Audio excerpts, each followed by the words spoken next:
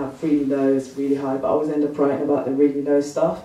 And I need to write more about stuff that are just normal, everyday thing, like walking to the station or it's freaking raining out there kind of poem, kind of thing. And yeah, so this last poem is called, I also wrote it like I was like, I'm obsessed with this form of poetry, but it's great.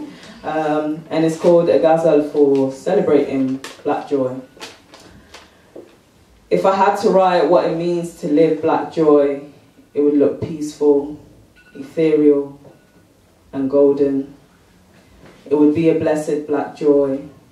The smell of rice and spicy beef stew with extra crispy plantain, malt peanut soup, food that walks with our soul, the clanking sound of pot lids opening for seconds of seasoned black joy. Waves, weaves, wigs, multicolored braids, afro cornrows, sitting between our mother's legs, a rebirth, is a table of black women writing how to hold black joy. I'm trying to be like you, says the brother at the gym, in the library, on the road, in the men's toilet, to the other brothers who also reply with the same, nah, I'm trying to be like you. And at one point, they make bodily contact, knuckles to knuckles, shoulders to shoulders, forming brotherly bond, positively charged black joy.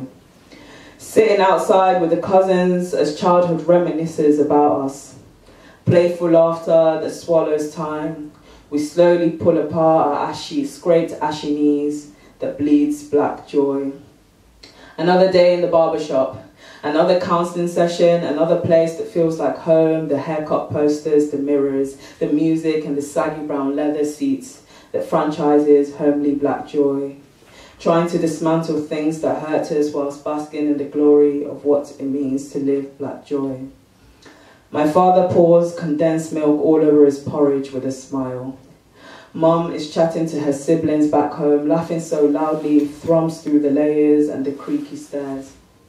They taught us to take pride in little things that bring us the slightest bit of joy.